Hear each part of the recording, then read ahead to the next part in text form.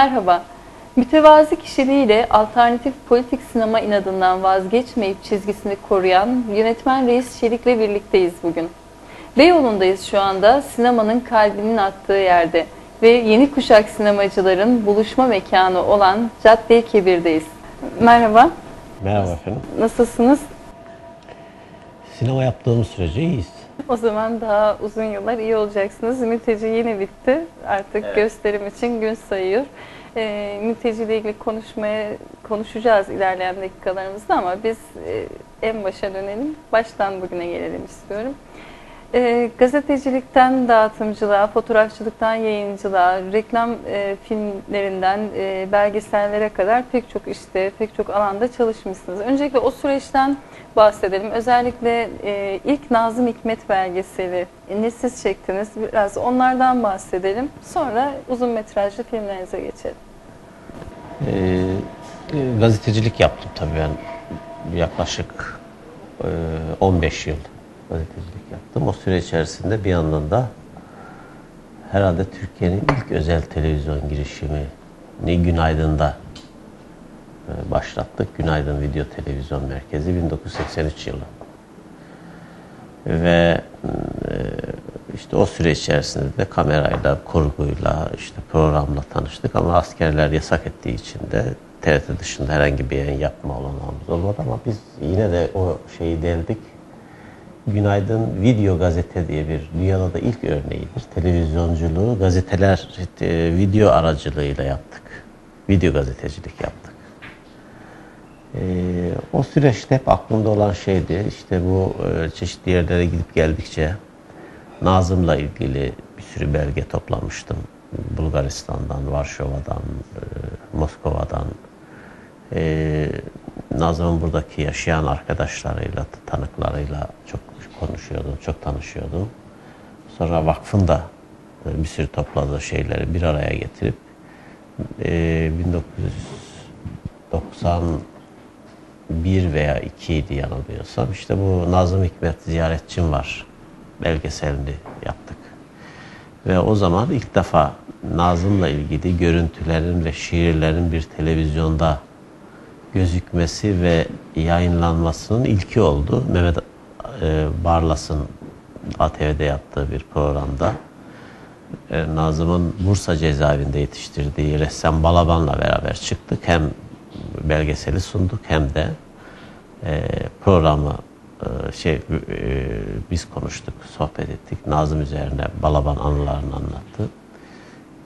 Çok inanılmaz bir şey yapmıştı yani etki yaratmıştı Türkiye'de. E, inanılmaz bir etkiydi çünkü ilk defa böyle bir şey oluyordu. E, Mehmet Barlas da bu konuda çok cesaretli davranmıştı ve e, hiç kimsenin tahmin edemeyeceği bir anda evet yayınlayalım ve böyle konuşalım dedi ve konuşmaya başladık. Ondan sonra da böyle bir e, ilk belgesel olmuş oldu. O çok heyecanlı bir olaydı. Ondan sonra zaten diğer sinema filmleri. Daha önce de yine belgeseller çekiyordum. Reklamlar çekiyordum, fotoğraf çekiyordum ama böyle e, çok etkileyen süreç onunla başlamıştır. Uzun metrajlı ilk filminiz Işıklar Sönmesin yine o dönem oldukça tartışma yarattı. Ee, sizin her filminizin yarattığı gibi. Ee, Kürt sorunu bir tabu halindeyken siz e, kimse cesaret edemezken böyle bir konu işlemeye o dönemde e, yaşanan acılara bir damla su vermek adına diye bir cümleyle bu işe soyundunuz ve e, bu filmi çektiniz. Işıklar Sönmesi'nin çekim macerası da oldukça ilginç. Biraz e, onu anlatırsanız. Ee, aslında ilk önce Hoşça Kal Yarın'ı, Denizlerin filmini yapmayı planlamıştım. Ona hazırlanmıştım, yazmıştım.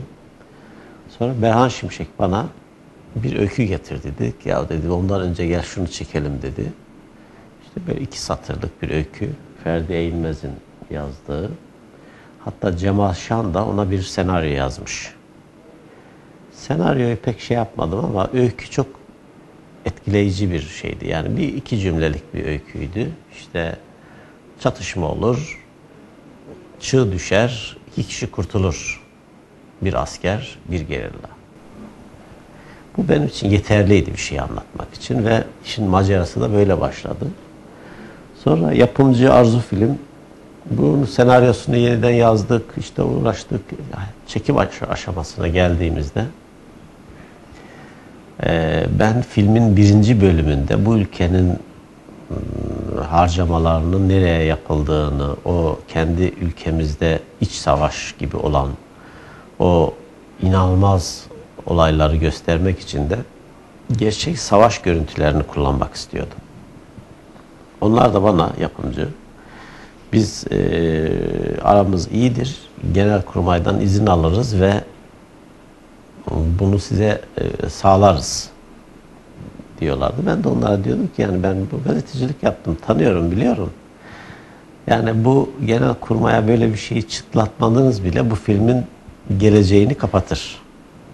Hayır sen bilmiyorsun bizim aramız iyidir. Çünkü Savaşta Barışanlar diye bir dizi yapmışlar ve e, gayet de güzel çalışmışlar. E, as, şeyler vermişler, uçaklar vermişler.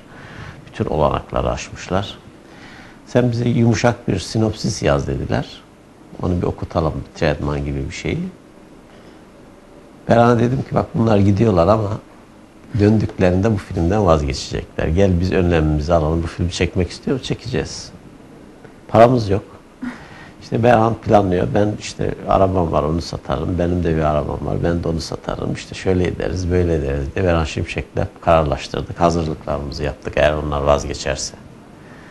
Ama biz bu arada ekibi toplayıp Bayburt Kop Dağları'na gittik.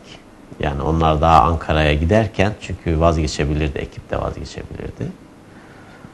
Ee, Ankara'da beklenen olmuş tabii kovmuşlar bunları yani böyle bir filmi çekecek olanın da çekenin de şudur budur deyip postalamışlar onları.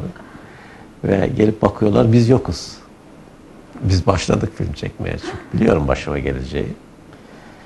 Ee, bir genelgeyle de böyle bir film çekilecektir. Onun için de bu filmin e, çekiminin engellenmesi e, ve yasaklanması söz konusu. Yani yasak bir şey yapıyoruz. Siz gizli çektiniz o filmi. Ya tam bir gizlilik içerisinde yürüttük.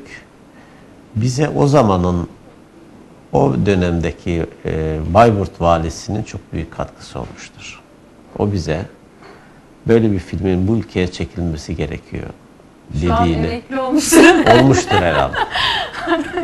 Görevden. Olmuştur. Zaten sene ikide bir, aradan. ikide bir onu sürüyorlardı. Ee, köşe bucak gidiyordu o vali.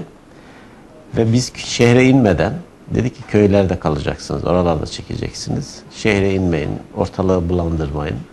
Ve gerçekten onun dediği yolu izledik. Biz mağaralarda kaldık, bazı köylerde kaldık ve yaklaşık iki ay içerisinde biz filmi çektik, bitirdik. Her çekilen bobin gizlice geliyor, Almanya'ya gidiyor, yıkanıyor, bir kopyası buraya geliyordu. Garanti alıyorduk kendimizi çünkü bu ülkede filmler de yakıldı, neler oldu neler. Böyle bir macerayla yani filmin kendisinden daha ilginç bir macera yaşadık biz. 1996 yılında e, yaşayanlar bilir, Kürt kelimesinin K'sını bile söylemek ensenden bir kurşun yemeye bedeldi. Yani son derece sert bir dönemdi. Köylerin yakılma olayları, karşılıklı kıyımlar, yok etmeler, faili meşhurlar alıp başını yürümüştü. O dönemde bu filmi biz vizyona çıkarmak savaşı veriyorduk. Ama benim için çok önemli olan şey şuydu.